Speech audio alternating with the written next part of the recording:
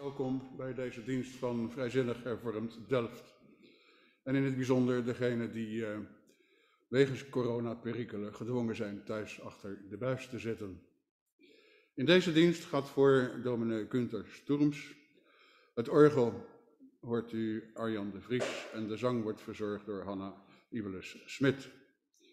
En wat de zang betreft, in deze ruimte mag weer worden gezongen, maar niet uit volle borst. Het advies van de PKN is om gematigd te zingen en dat komt neer op spraakniveau. Dan, we zijn een actieve gemeente, we hebben nogal wat, we hebben nogal wat activiteiten, maar in verband met de ziekte van onze predikant zijn er een hoop wijzigingen. En u vindt uh, de laatste mededeling in de laatste nieuwsbrief en in het weekbericht wat u per mail is toegezonden. Wat de collecte betreft, deze maand is de eerste collecte voor Artsen zonder Grenzen, u wel bekend, en de tweede uh, collecte is voor de eigen gemeente. Beide collecten van harte aanbevolen. En u kunt uw giften storten op de aangegeven bankrekeningen zoals vermeld in het weekbericht. Dan heb ik nog een mededeling van huishoudelijke aard. Twee weken geleden heeft iemand zijn opvouwbare paraplu hier achtergelaten. Mocht u die missen, hij ligt hier achter slot en grendel en dan kunt u hem bij mij ophalen. De bloemen die gaan deze week naar Mikke Frits, Kapellaan 75 in Den Hoorn. Is er iemand die ze langs kan brengen? Dankjewel Alice. Um, overigens kunt u deze dienst vanmiddag ook op ons uh, YouTube-kanaal zien van Vrijzinnig Delft. Dan steek ik nu de paarskaars aan.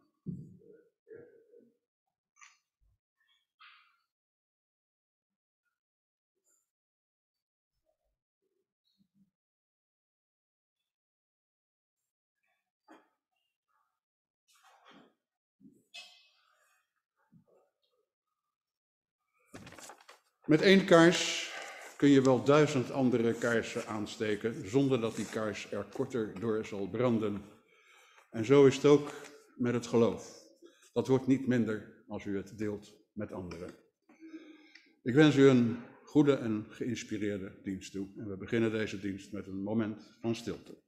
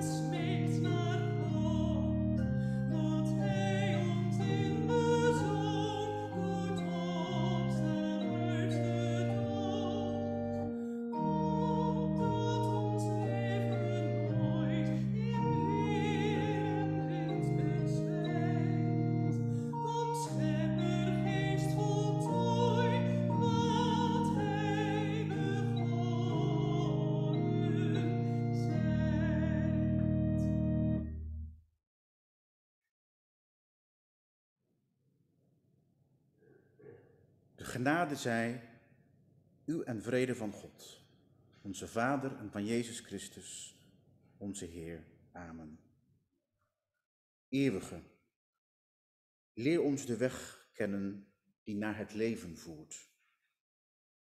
Open ons hart voor uw woord en zet ons op het spoor van Jezus, uw betrouwbare getuige, die ons voorgaat naar u, dit uur en alle dagen van ons leven.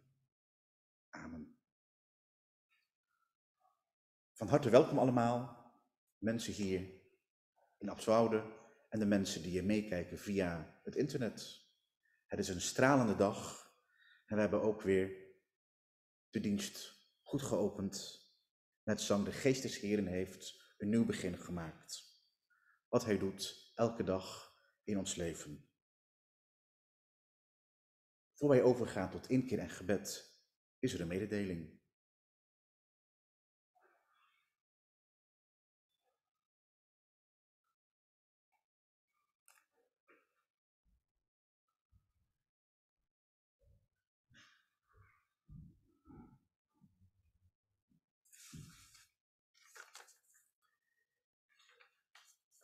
In een toevallige ontmoeting gisteren in de stad hoorde ik dat ons gemeentelid Peter Boven twee weken geleden is overleden. Peter, een heel actief en betrokken gemeentelid. In zijn dienstplicht moest hij dienen in Indonesië. Gewond kwam hij daarvan terug en van dat ongemak heeft hij eigenlijk zijn hele leven last van gehad. Hij trouwde hier in Delft met Herma Kuns in Delft. En het gezin verhuisde naar IJsden, naar Zuid-Limburg, waar hij mededirectie werd van een kopieerapparatenbedrijf, OC heette dat geloof ik, daar in Limburg. Ze hadden daar een goede tijd in Limburg. Maar na zijn pensioen gingen ze weer terug naar hun roots in Delft. En ze hadden daar een goede tijd. Een mooie appartement aan de Schie. Ze genoten daar. En Peter en Herma waren allebei zeer actief in de gemeente van Vrijzinnig Hervormde. Peter als kerkrentmeester, scriba, en Herma ook actief in de bezoekcommissie. Ze waren ook heel actief in de kring Bijbelse verkenningen. En ja, gisteren krijg je dan allerlei herinneringen erover. Peter had altijd zijn eigen vertalingen bij zich. Dus we hadden dan het Lucas-evangelie gingen we bespreken en hij had altijd de Franse vertaling bij zich en ook een Duitse vertaling. En dat leverde altijd een hele interessante discussie op. Ze hebben genoten in de gemeente, ook in de weekenden weg die wij hadden. En ze konden daar blijven wonen in het appartement tot het echt niet meer ging. Allebei naar Stefana. Herma een aantal jaren geleden overleden en Peter daar alleen. Die laatste jaren voor Peter in zijn verwardheid, soms in zijn boosheid, soms in zijn daar alleen zijn, die laatste jaren waren voor Peter daar een hele moeilijke tijd. Peter, ik denk aan hem terug als een lief, aardig en bemiddelijk mens. Laten wij in een ogenblik van stilte ieder zijn eigen gedachten aan hem hebben.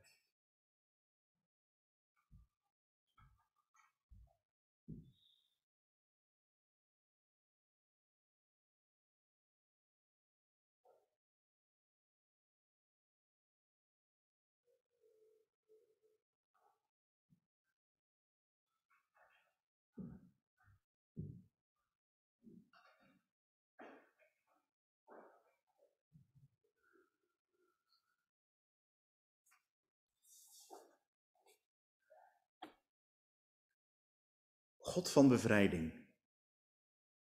Met onze talenten en mogelijkheden kleuren wij ons leven.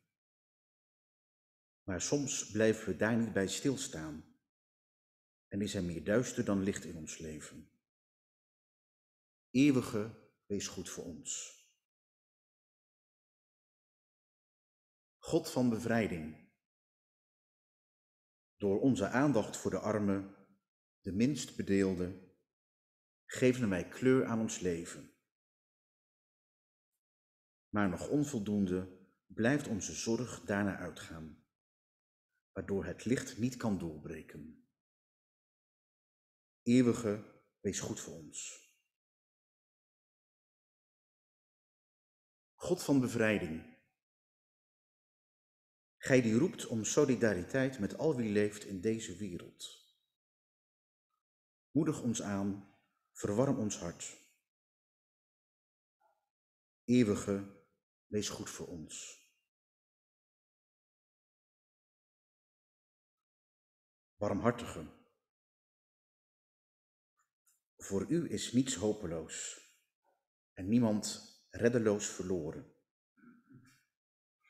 Het kan uw bedoeling niet zijn dat wij verwachten en geen vervulling zien.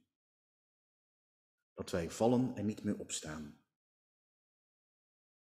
Wij bidden u. Laat ons in beweging komen. Om te zien waar wij nog vasthouden. En geen ruimte geven om ons hart om te voelen. Waar het echt om te doen is. Breng ons tot dat woord en tot dat gebaar, tot dat feest van verzoening. Breng ons tot dat nieuw begin, dichter bij elkaar dan ooit tevoren. Dat vragen wij u in Jezus onze broeder. Amen.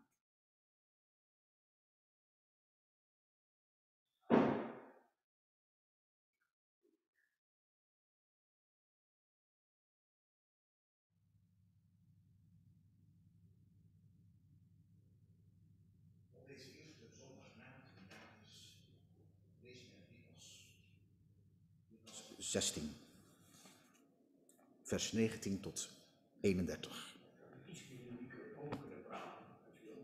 Zeker. We gaan hem iets verzetten.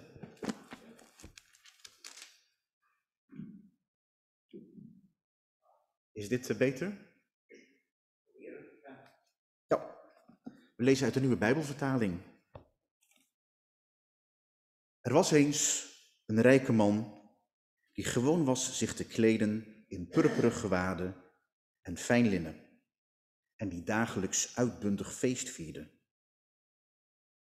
Een bedelaar die Lazarus heette, lag voor de poort van zijn huis, overdekt met sferen.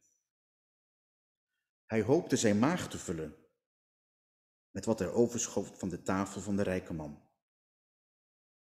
Maar er kwamen alleen honden aanlopen die zijn zweren likten. Op zekere dag stierf de bedelaar en hij werd door de engelen weggedragen om aan Abrahams hart te rusten. Ook de rijke stierf en werd begraven. Toen hij in het dodenrijk, waar hij hevig gekweld werd, zijn ogen opsloeg, zag hij in de verte Abraham met Lazarus aan zijn zijde. Hij riep, Vader Abraham, heb medelijden met mij en stuur Lazarus naar me toe. Laat hem het topje van zijn vinger in water dompelen om mijn tong te verkoelen. Want ik lijd pijn in deze vlammen. Maar Abraham zei, Kind, bedenk wel dat jij je deel van het goede al tijdens je leven hebt ontvangen, terwijl Lazarus niets dan ongeluk heeft gekend. En nu vindt hij hier troost, maar lijdt jij pijn. Bovendien ligt er een wijde kloof tussen ons en jullie, zodat wie van hier naar jullie wil gaan dat niet kan en ook niemand van jullie naar ons kan oversteken. Toen zei de rijke man, dan smeek ik u, vader, dat u hem naar het huis van mijn vader stuurt, want ik heb nog vijf broers. Hij kan hen dan waarschuwen, zodat ze niet, net als ik, in dit oord van martelingen terechtkomen. Abraham zei, ze hebben Mozes en de profeten.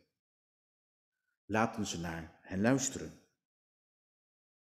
De rijke man zei, nee vader Abraham, maar als iemand van de doden naar hen toe komt, zullen ze tot inkeer komen.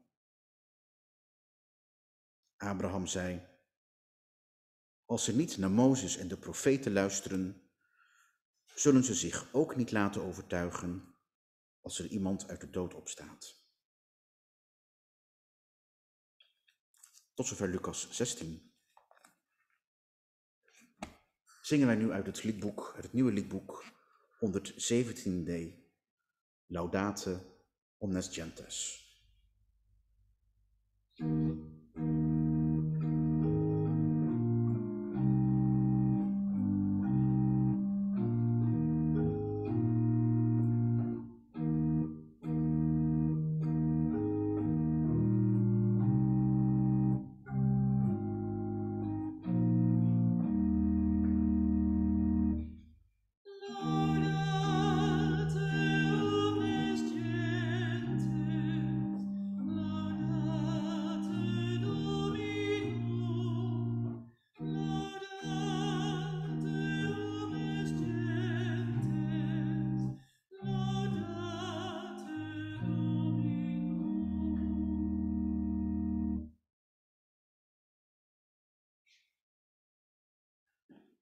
Tweede lezing is vandaag een gedicht en dat wordt gezongen.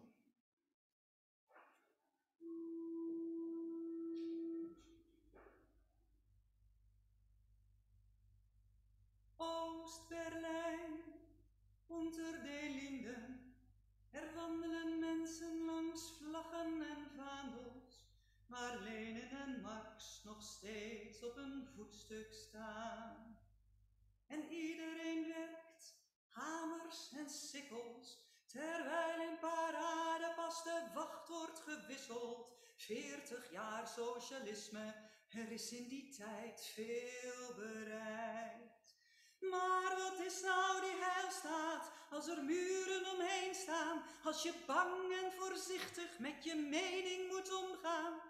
Ach, wat is nou die heilstaat? Zeg mij, wat is die waard? Wanneer iemand die afwijkt voor gek wordt verklaard en alleen de vogels vliegen van Oost naar West-Berlijn, worden niet teruggefloten, ook niet neergeschoten.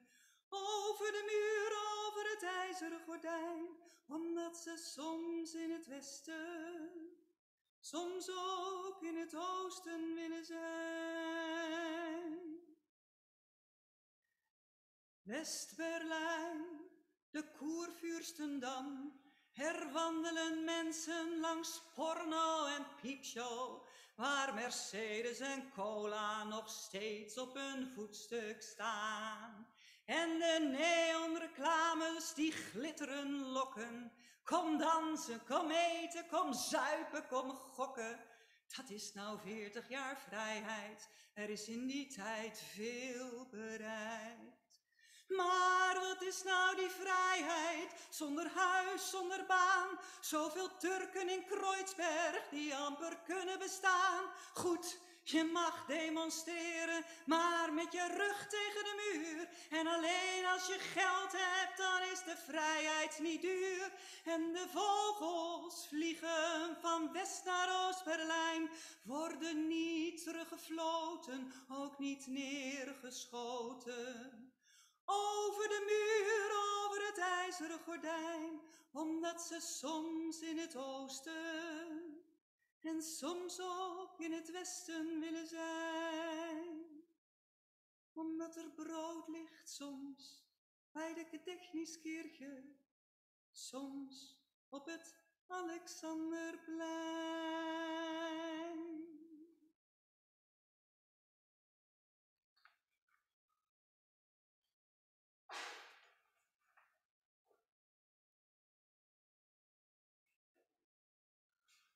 Goedemorgen allemaal. Wat fijn om hier vandaag met jullie de zondag te vieren. Normaal ge- gesproken ga ik voor in de kerk uit Noordeinde. En sinds vorig jaar kom ik ook regelmatig één keer per jaar bij jullie. Dat was nieuw voor mij. En voor jullie. En dan bedoel ik niet qua gebouw, qua liturgie, wat al een hele stap is. Nee, ik bedoel, vorig jaar waren wij verbonden via een opgenomen kerkdienst. Met muziek, gebeden, verkondiging en een heerlijk kopje zoomkoffie. Met elkaar, als diverse kerkelijke groepen, hebben we in een stroomversnelling nieuwe vormen van gemeenschap ontdekt. Het online kerk zijn. En soms kerk ik daardoor in Delft. En soms vind ik het fijn om een andere gemeenschap te vinden. Ik ga wel eens naar de Haarlemse kathedraal met koorzang, orgel, trompet. En dat allemaal zonder autokilometers te maken. Zo direct vanuit mijn huiskamer. Het nieuwe vieren. Het nieuwe normaal.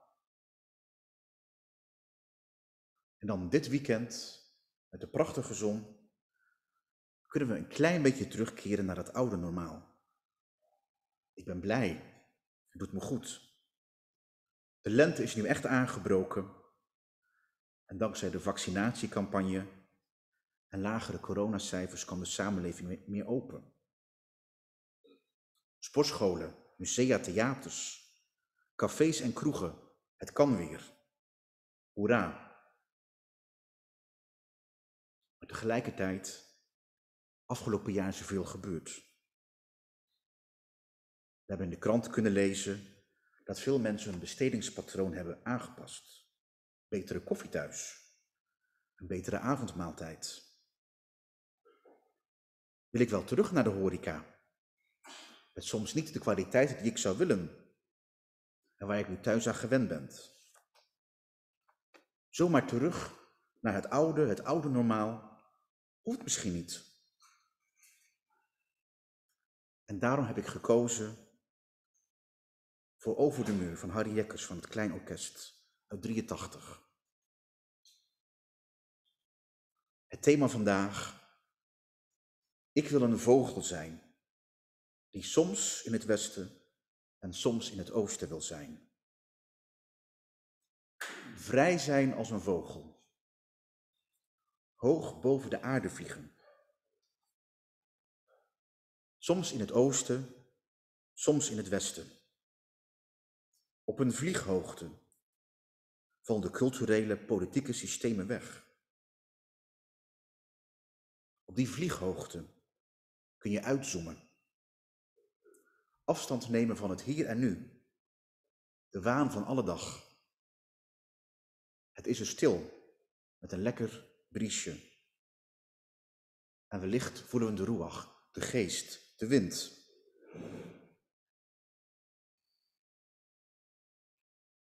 Die vlieghoogte kun je aan de reflectie doen, contemplatie. En je afvragen, oost of west? En waarom kiezen? We hebben het gehoord in het lied. Beide systemen hebben prachtige voordelen. En beide systemen hebben ook nadelen. En nu dit weekend is de tijd aangebroken staan we op een scharnierpunt.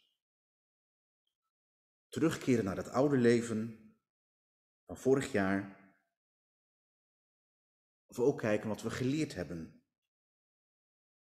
Wat we allemaal bereikt hebben. Net als de vogel uit het lied uitzoomen. En afvragen, hoe willen we verder? En naast alle verschrikkelijke medisch-menselijke drama's van het afgelopen jaar, waar ik geen afbreuk aan wil doen, hebben we ook veel geleerd. Geleerd wat echt belangrijk voor ons is. Als je nog maar één of twee mensen per dag mag ontvangen, dan wordt het wel kiezen en dan komt het erop aan. Wie komt er op bezoek? Familie. De kinderen. Of laat ik toch eens die eenzame vriend uitnodigen? Discerning wordt nog belangrijker. Pikken en wegen. Net als die vogel. Soms in het oosten, soms in het westen. In het coronajaar zijn veel mensen meer thuis gaan werken. En wat blijkt, bij veel processen is het goed mogelijk. Die vergadering waarvoor ik vroeger naar Groningen moest, voor het ene uurtje, dat kan nu best online. En ik pleit niet voor meer efficiëntie, nee, ik pleit voor meer flexibiliteit. Met elkaar kijken wat ieder van ons nodig heeft. En wat werkt voor een ieder. Soms thuis, soms op kantoor, net wat past. Want collega's ontmoeten is natuurlijk belangrijk. En ook voor ons als kerkelijke gemeenschappen. Wat hebben wij geleerd het afgelopen jaar?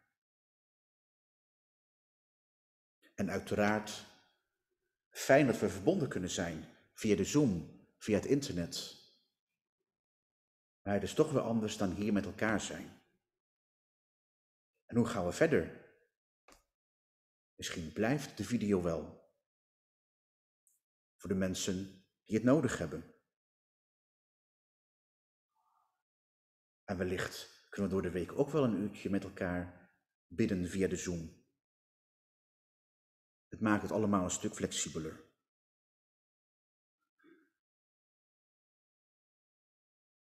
Wat vinden wij als mensen van de weg? Mensen van religieuze tradities. Wat vinden wij hiervan? Hoe willen wij dat die nieuwe samenleving eruit gaat zien? Want wat is nu echt belangrijk? Waar willen wij aan werken? En dit scharnierpunt is dan ook voor mij een locus theologicus. Het zijn tekenen van de tijd.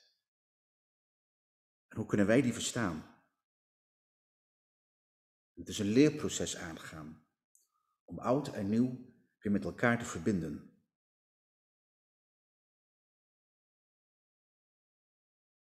En wellicht kunnen wij net zo zijn als Harry Jekkers, die over de muur schreef. Hij oordeelt niet. Hij kiest geen kant voor oost of west. Hij wikt en weegt. Want net als die vogels, soms ligt er brood bij de Gedächtniskirche en soms op het Alexanderplein. Voor, tijdens en na corona, ook wij zoeken naar het brood. Het levendgevende brood dat wij dagelijks nodig hebben. Wie willen wij zijn? En in die verbinding met elkaar, in die verbinding met de eeuwige, willen wij de wereld duiden. Maar die tekenen verstaan is niet zo makkelijk. Net zoals we in het evangelie lazen. Die rijke man uit Lucas had daar moeite mee. Zijn broers ook. Er waren profeten. Mozes. Maar ze luisteren niet. En de eeuwige had er moeite mee. Blijkbaar is het voor de rijken moeilijk met alle bagage en rijkdom, om die waarde te zien. En toch moet het kunnen. En blijven wij die hoop koesteren. Dat alle mensen armrijk en wij als gemeenschap blijven zoeken om zo te werken aan geloof, hoop en liefde. ik ben ervan overtuigd dat ook ons gaat lukken. Daar geloven wij in. Dat dat licht van, van toen nu nog steeds schijnt.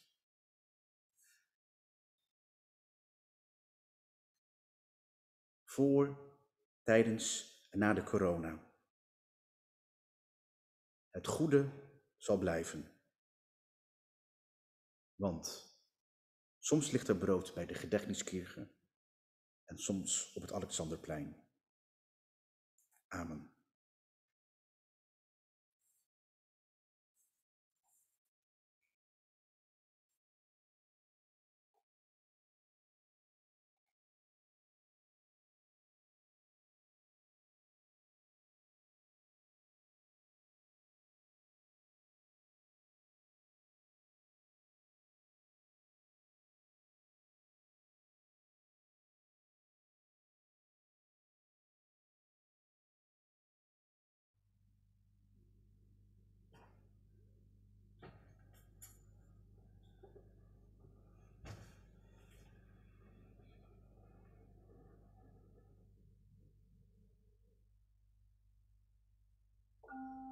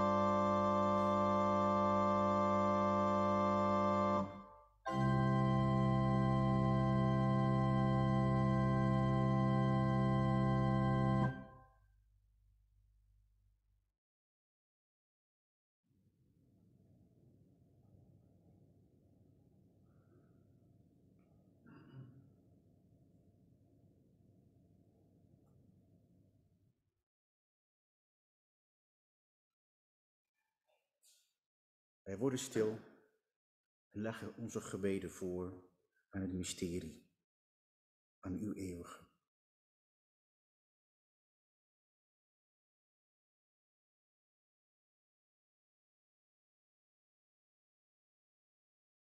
Wij zijn elkaar gegeven als unieke mensen. In verantwoordelijkheid en zorg Voor wat ons is geschonken bidden wij. Voor onze wereld, die nood heeft aan barmhartigheid. Voor onszelf, uw kinderen. Om grootmoedig te durven zijn en Gods barmhartigheid voor te leven. Laat ons bidden. Voor de kerk. Voor al die kerken die nood hebben aan barmhartigheid. Voor wie haar lijden. Voor hen die mensen bijstaan. Om een ruim hart. Om de gave tot verzoening en vrede. Laat ons bidden. Voor onszelf. Toebehorend aan het verbond van Christus. Die mogen leven uit zijn liefde. Om respect voor de naaste. Om liefde die niet gebruikt maar vrijmaakt. Laat ons bidden. En bidden we in het bijzonder voor de pas overledene uit onze gemeente en onze naasten.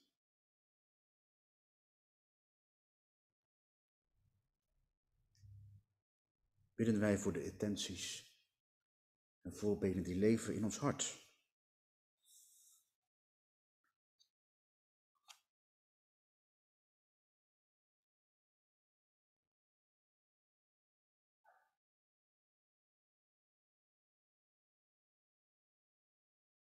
God eeuwige, groter dan ons hart. Zo leggen wij u alles voor wat ons bezighoudt.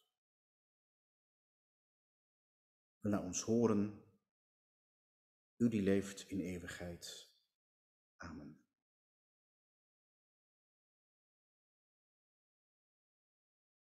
En bidden wij nu, zingen wij nu de woorden die Jezus ons mensen heeft geleerd.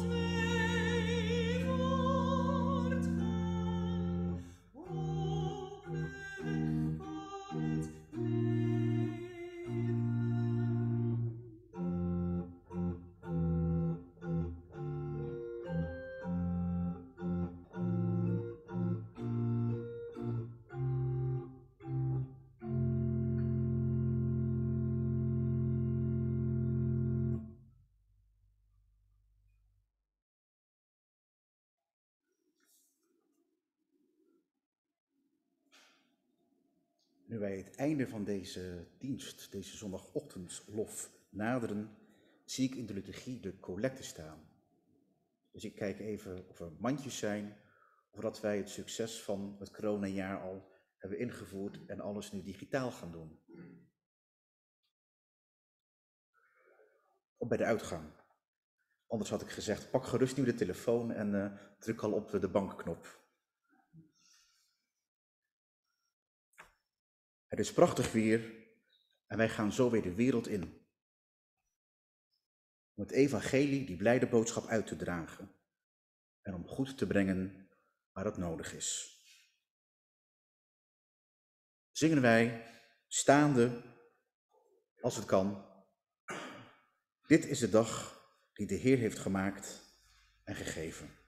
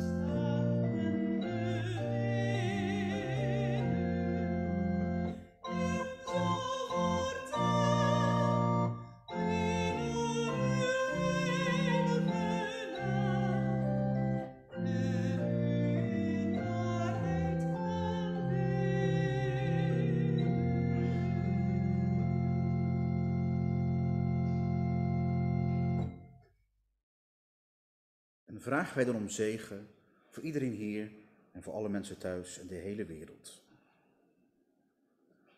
Mogen de vreugde van de schepping ons hart vervullen, zodat we goed voor haar zorgen. Mogen Christus in ons wonen en ons hart met uw woord vervullen, opdat we zijn liefde en genade doorgeven. Mogen de Heilige Geest werkzaam worden in ons, zodat het geloof in ons brandt en wij dit met vreugde en inspiratie doorgeven. Daartoe zegenen ons God, Vader, Zoon en Heilige Geest. Amen.